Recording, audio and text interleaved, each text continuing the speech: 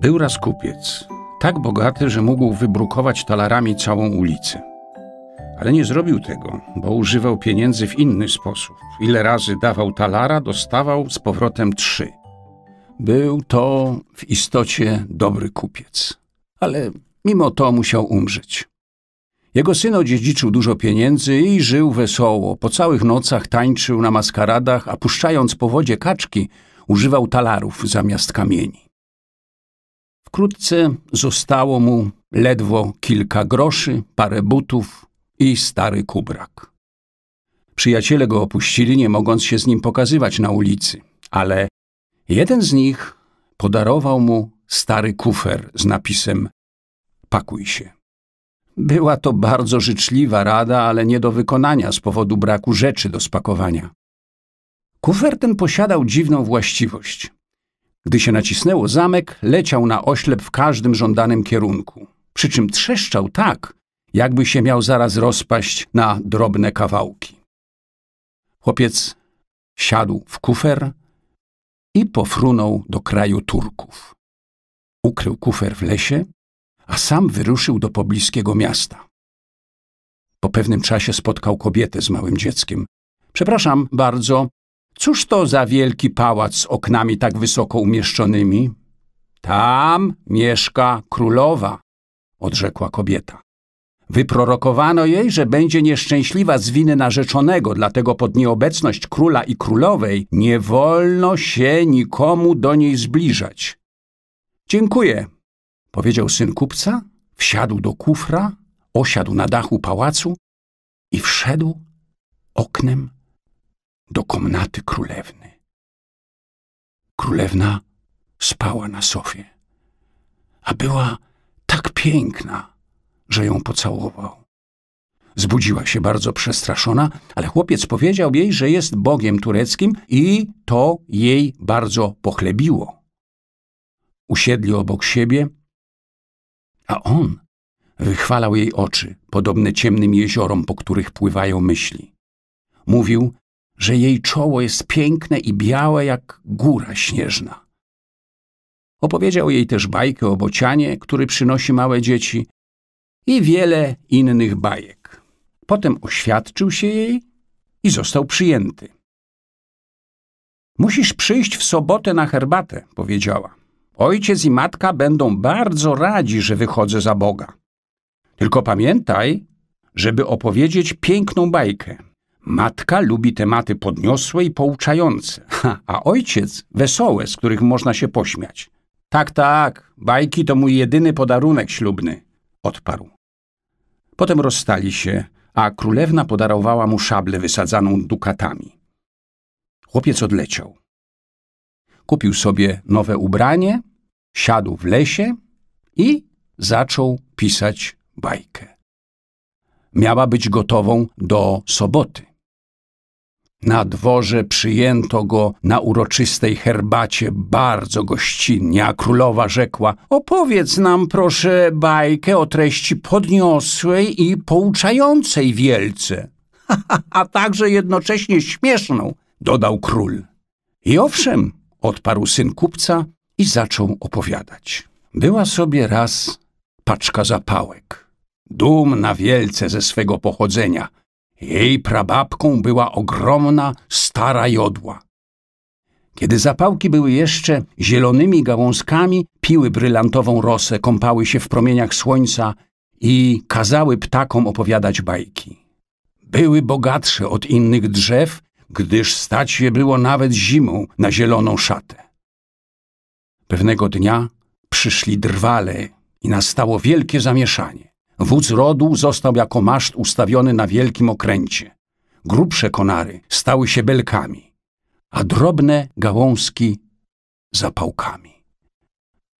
Wszystko to opowiadały zapałki staremu żelaznemu garnkowi i krzesiwu, z którym leżały razem na półce. A moja historia jest całkiem inna, oświadczył garnek.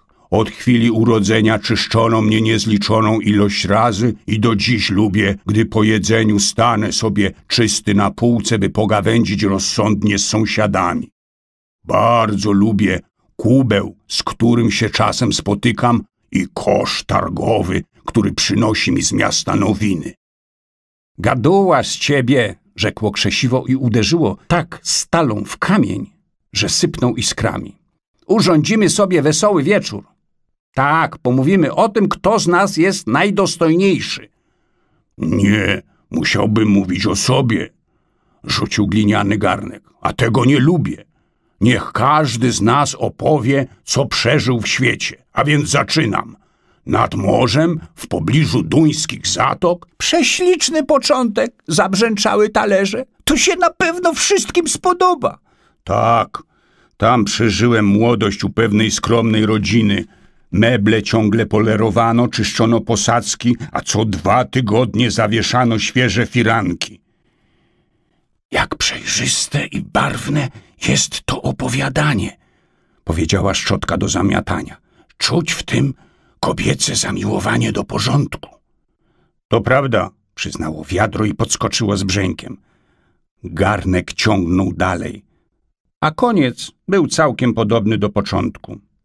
Talerze zaszczękały z radości, a szczotka dobyła z kąta gałązkę pietruszki i uwieńczyła garnek w nadziei na rewanż. Krzesiwo postanowiło tańczyć i hukało, podnosząc ciągle jedną nogę tak, że aż ze strachu pękło obicie na starym fotelu. Czy także zostanę uwieńczone? spytało po skończeniu. I tak też się stało. Ach, Cóż za hołota!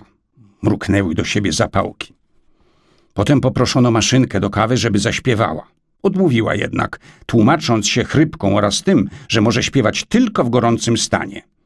Były to tylko wykręty, bo wolała śpiewać przy gościach w jadalni. Na oknie leżało stare pióro służącej.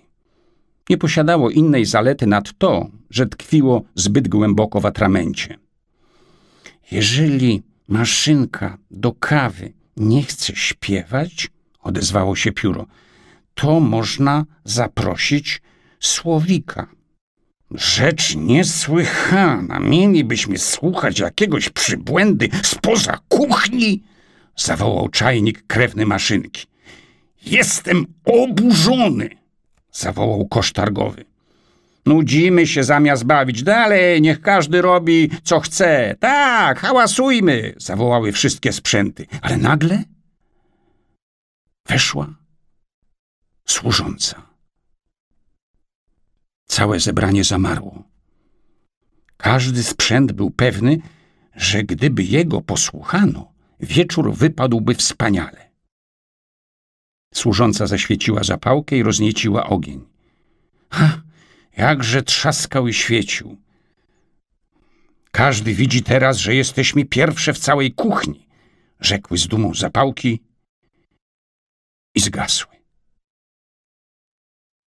Prześliczna to bajka, powiedziała królowa. Duchem jestem po stronie zapałek. Ha, ha, ha, tak, dostaniesz naszą córkę, tak, dostaniesz królewnę, dodał król. Ustalono dzień ślubu i oświetlono uroczyście całe miasto. Mieszkańcy dostali cukierki i ciasteczka, a ulicznicy gwizdali radośnie na palcach. No, muszę i ja się przyczynić do uświetnienia tego dnia, rzekł syn kupca, nakupił rakiet i najróżniejszych sztucznych ogni, potem zaś wyleciał w powietrze swoim kufrem. Zrobił się niesłychany zamęt. Ognie bengalskie napełniły powietrze hukiem i światłem, jakiego dotąd nie widziano. Wszyscy byli pewni, że królewna poślubia Boga. Wysiadłszy w lesie ze swego kufra, chłopak chciał zasięgnąć wieści, co o nim mówią w mieście. Każdy głosił co innego, ale wszyscy byli zachwyceni. Widziałem samego Boga, wołał jeden. Oczy jego błyszczały jak gwiazdy, a broda przypominała spieniony górski potok. Leciał okryty płaszczem z płomieni, a pośród zawojów widniały głowy aniołów. Nazajutrz miało się odbyć wesele. Syn kupca wrócił do lasu, chcąc zabrać kufer. Ale cóż się okazało? Oto mała iskierka zatliła stare, suche drzewo i cudowny kufer doszczętnie spłonął. Nie mógł już latać i udawać Boga. Nie mógł się pokazać na oczy narzeczonej. Ona zaś stała przez cały dzień na dachu, czekając na niego. Stoi tam jeszcze pewnie do dziś. A chłopak? Wędruje po świecie i opowiada bajki, ale żadna nie jest już tak wesoła jak bajka o zapałkach.